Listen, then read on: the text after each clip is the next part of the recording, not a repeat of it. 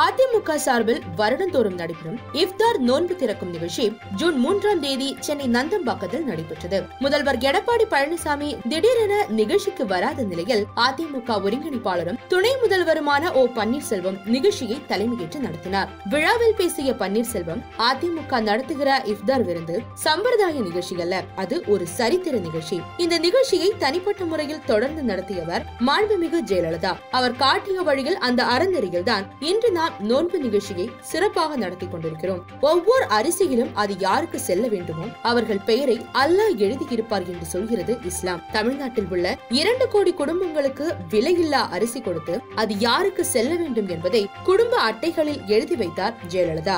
அவர் இருந்தவரை கொடுத்து கொண்டே இருந்தார். இன்று அவர் ஆட்சியில் அள்ளி அள்ளி கொடுத்து கொண்டே இருக்கிறோம். புனித ஹஜ் யாத்திரைக்கு மானியம் உமலாக்கள் ஓய்வூதிய உயர்வு இஸ்லாமிய இளைஞர்கள் சுயதொழில் தொடங்க நிதி உதவி நாகூர் கந்தூரி விழா மாவட்டம் தோறும் முஸ்லிம் பெண்களுக்கு உதவி மையங்கள் என முஸ்லிம் சமுதாயத்திற்கு ஏராளமான நன்மைகளை செய்துள்ளார் ஜெயலலிதா. என ஜெயலலிதா புகழ் பாடியவர் எடப்பாடி பழனிசாமி பெயரை பெரிதாக உச்சரிக்கவில்லை. தேர்தல் முடிவுகள் குறித்து பேசிய ஓ பன்னீர்செல்வம் பொய்யை கூட உண்மை என்று நம்பிவிடுகிற வேதனையான விஷயம் சில நேரங்களில் நடந்து விடுகிறது.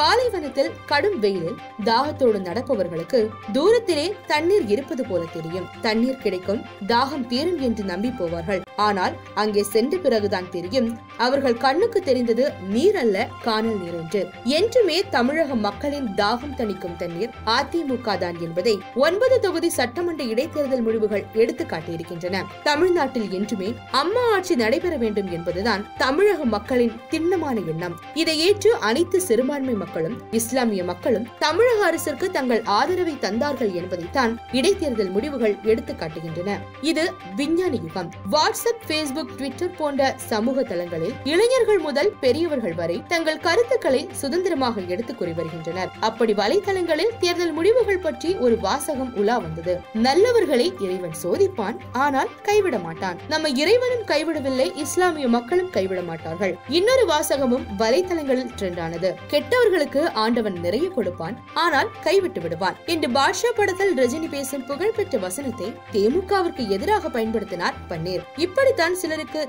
தேர்தலில் நிறைய கொடுப்பது போல இறைவன் கொடுத்திருக்கிறான் அது கையை விட்டு போய்விடும் என்ற தவிப்பில் சிரிக்க கூட முடியாமல் அவர்கள் தவித்துக் கொண்டிருக்கிறார்கள். தமிழ்நாட்டை ஆளலாம் என்று சிலர் கனவு கண்டு கொண்டிருப்பார்கள். அவர்களின் ஆசை இன்றைக்கும் நிறைவேறாது என்று பேச்சை முடித்தார் அவர். நிகழ்ச்சியில் அதிமுக சிறுபான்மை பிரிவு தலைவர் அன்வர் ராஜா அனைத்துலக எம்ஜிஆர் மன்ற செயலாளர் தமிழ்மகன் உசேன் தொழிலாளர் நலத்துறை அமைச்சர் நிலோபர் கபில் அதிமுக துணை ஒருங்கிணைப்பாளர்கள் கே பி முனுசாமி வைத்திலிங்கம் அமைப்பு செயலாளர் பொன்னையா பாமக நிறுவனர் ராமதாஸ் தேமுதிக பொருளாளர் பிரேமலதா விஜயகாந்த் தமாக தலைவர் ஜி கே வாசன் சமத்துவ மக்கள் கட்சி தலைவர் சரத்குமார் புதிய நீதி கட்சி தலைவர் ஏ சி சண்முகம் பாஜக மாநில சிறுபான்மை நலப்பிரிவு தலைவர் ஆசிம் பாட்ஷா உள்ளிட்டோர் கலந்து கொண்டனர்.